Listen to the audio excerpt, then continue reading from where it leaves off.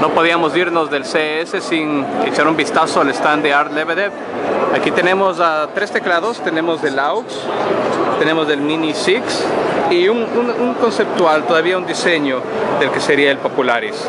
Uh, si vamos al AUX, nos dicen que es la misma tecnología que se usaba en el Maximus, Uh, que podría servir para diseñadores gráficos, por ejemplo.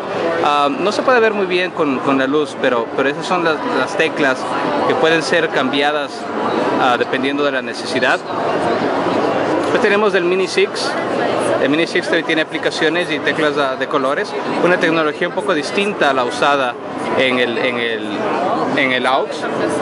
Um, algo interesante, el AUX está, ahí está a la venta, se puede conseguir por alrededor de 290 dólares, uh, pero se vende solamente al por mayor. Uh, esperan poder producir el, Mini 6 próximamente uh, por alrededor de 185 dólares cada uno. Se pueden conectar 6 o más, es una simple conexión USB, por lo tanto puede utilizar varios de esos.